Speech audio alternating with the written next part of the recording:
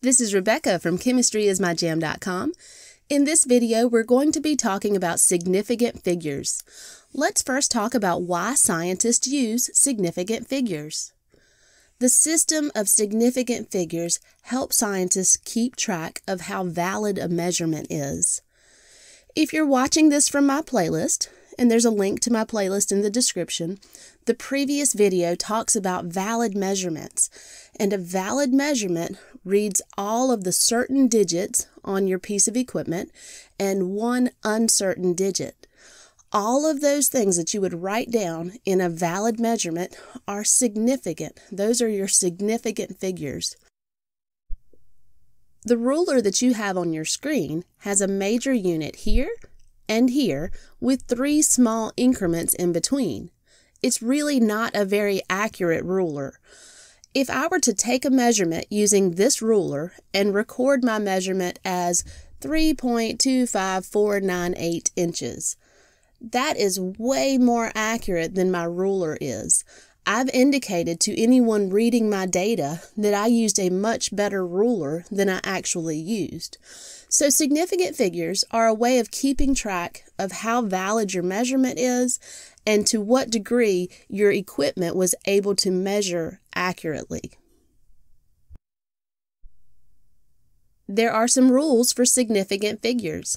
These are the rules that you would use if you were reading someone else's data and you were trying to determine which of the numbers in their data came exactly from their lab equipment, which of their numbers represent valid measurements. The rules are first, all non zero di- digits are significant, all numbers between non zero digits are significant, leading zeros are never significant, and a leading zero is a zero that comes before non zero digits. Trailing zeros are only significant if there is a decimal somewhere in the number, and trailing zeros come after non zeros. Let's look at some examples of how you can apply these rules to some numbers. Here we have some numbers that we're going to be going through and determining which numbers are significant. We'll be using the rules that we just went over, and we're mostly going to be focusing on the zeros because if you'll recall, all non zeros are significant. As a reminder, leading zeros are zeros that come before non zeros, and trailing zeros are zeros that come after non zeros. In this first example, the 1 and the 3 are non zeros, so they are significant.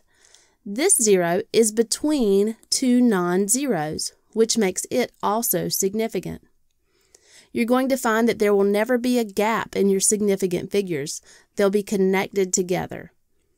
In this example, the 1 and the 3 are significant because they're non-zeros.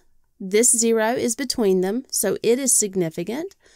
This is a trailing zero, and trailing zeros are only significant if there is a decimal somewhere in the number. So the way it is written here, there are only three significant figures. The way it's written in the example below, there are four significant figures because there's a decimal in the number.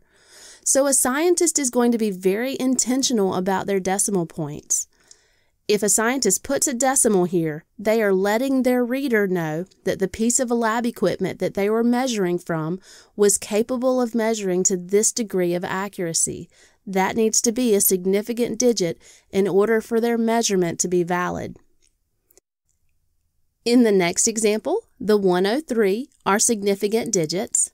These zeros are trailing zeros, and they are significant because there's a decimal somewhere in the number. So this example has six significant figures. In the next example, the 103 are significant.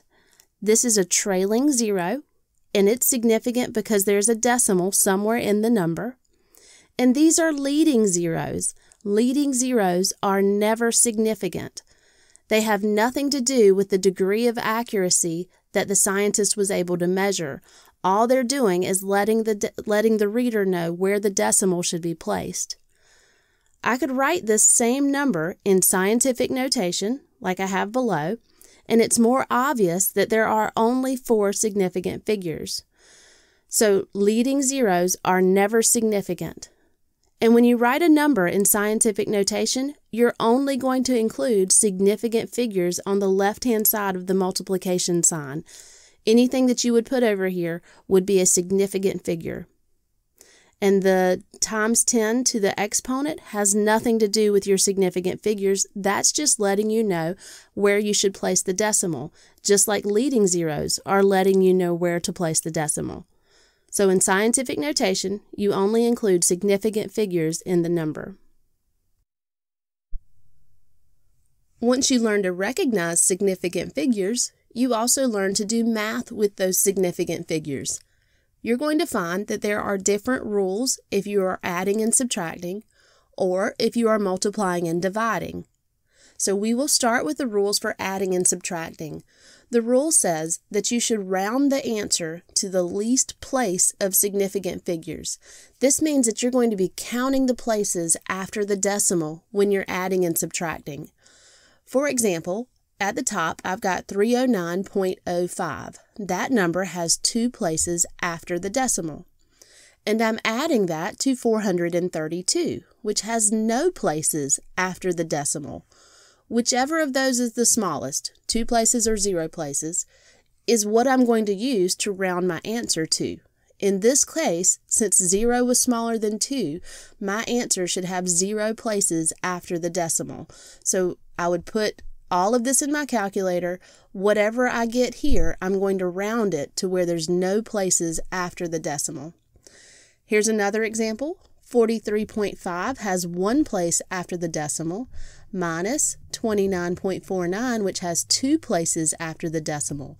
1 is smaller than 2, so my answer should be rounded to where it has one place after the decimal. Next up, you've got 1.054, which has three places after the decimal. 2.98 has two places after the decimal. 2 is smaller than 3, my answer should be rounded to where it has two places after the decimal. The rule for multiplying and dividing is different. Instead of counting places after the decimal, you're going to round to the least number of significant figures. You're going to count the number of significant figures, and then whichever one is the smallest represents how many your answer should have. In this case, I have 39.2, which has three significant figures. I'm multiplying it by 403.45, which has five significant figures. 3 is smaller than 5, so my answer needs to be written in such a way that there are only three significant figures. In this case, the easiest way to do that was to use scientific notation. I've got three significant figures in my answer. Down here at the bottom, 2.90 has three significant figures. 1.8 has two, so my answer is rounded to where it only has two significant figures. It also works for division. 490 has two significant figures. 6 has one significant figure. I've written this to where there's only one significant figure. Note that there's no decimal here, so that trailing zero is not significant. There's only one significant digit in this answer. I could have also written that in scientific notation and made it more obvious that there was only one significant figure. So the other way that I could have written that is as 8 times 10 to the 1. That makes it more obvious that there's only one significant figure, but it still represents an answer of 80. As you just saw, a lot of times when you are doing math with significant figures, you have to round your answer. So I wanted to provide a few examples of how you can round significant figures.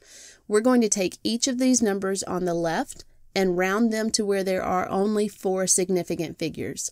So for each one, I'm going to start on the left-hand side and I'm going to keep four digits. For this first example, I'm keeping the 4, the 9, the 0, and this 0. So rounded to four significant figures, the number looks like 490.0. I need to keep this 0 after the decimal place because it is significant. That scientist actually made that measurement to that degree of accuracy. So you need to keep any zeros that are significant. Going down to the next one, I want to keep four significant figures. These first two zeros are not significant. So I'm going to keep them, but that's not where I'm going to start counting my four significant figures. I start counting right here. I'm going to keep the 2, the 9, the 4, and then I want to cut it off after the 5. I look at this number, it's above 5, so this number rounded up to a 6. So my number looked like this, 0 0.02946. And then in the last example, you have 182,482. And I want to keep four significant digits starting on the left. I'm going to keep the 1, the 8, the 2, and the position where the 4 is, but the 4 is going to round up to a 5 because the next number is above 5. That means these two places right here need to become insignificant. Somehow I need to let my reader know that this is still 182,000, the decimal should still be right here, but that these two places are insignificant. The equipment that I was using was not capable of measuring those two places. So I have two choices. The most common method is to write it in scientific notation, where I've written my four significant digits, 1.825, the 5 got rounded, times 10 to the fifth, so I see very obviously that there are four significant digits, but my decimal should still be here. That times 10 to the fifth tells me where to place the decimal. The other choice that I have is to write it as a normal number, put two zeros at the end, replacing those insignificant places, and do not put a decimal. By not putting a decimal, these two trailing zeros are insignificant. So this was another way to write this number with four significant figures and let your reader know where the decimal should be. But you don't want to write a decimal because those two need to be insignificant. Significant figures wraps up our discussion of measurement. Stick around as we continue Unit 1 by classifying matter.